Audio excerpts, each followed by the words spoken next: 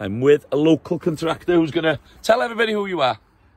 Bleddyn from Gwytherin, Bleddyn Thomas. Ben Thomas. And Bleddyn's got one heck of a machine. He goes round to do a bit of, uh, what we call it, bushwhacking. Yeah, something like that. Yeah. Yeah. So he's he's doing some brash up here, but mainly it's um, uh, like bracken and there's a, there's a little bit of gorse there, isn't it? Yeah. He's done a big piece for us on the top there, and um, honestly, fantastic contractor. He's got a New Holland TX 100A, hell of a machine, isn't it? Does the job. Yeah. Does the job, and he's got a topper on the front there, and he's got weights on the back here, Yeah. Toolbox and toolbox, yeah. everything's there. Yeah. Now I'm going to go to the top there and I'm going to watch Lev coming up and you can see this machine in action. We've been stopped using sprays uh, in Wales so I think Bleddyn's going to be a very busy boy over the next few years cutting a lot of bracken and bracken can be carcinogenic as it gets a little bit uh, older and brown like this so we try to keep it down because bracken is no good for anything, any wildlife. So it's important that we watch after our land, making sure there's grazing, but as well, making sure there's places for nature as well. So you up for it, Blair? Yeah, give it a try. Let's go.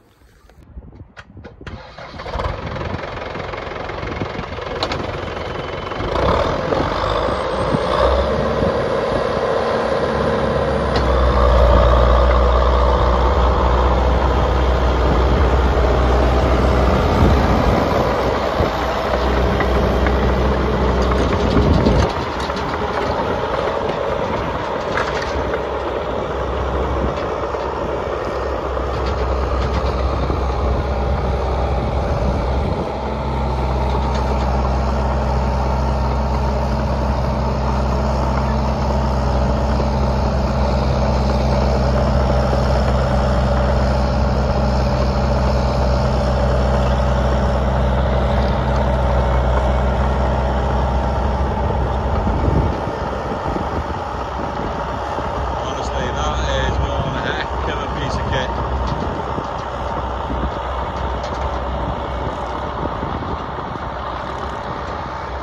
Just about walk up this side.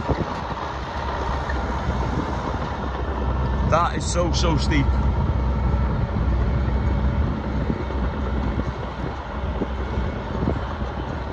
Look at that.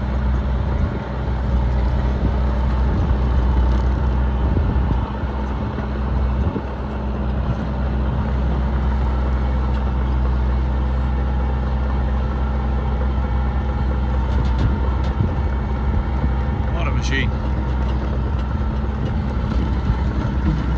you can see the way it's cutting the bracken there. You know, the bracken is still alive and that's the gorse. Not a lot of gorse.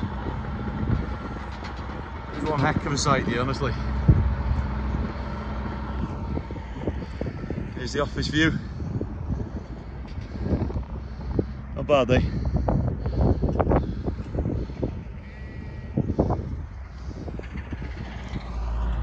So if you're looking for a bushwhacker, Lev's your man.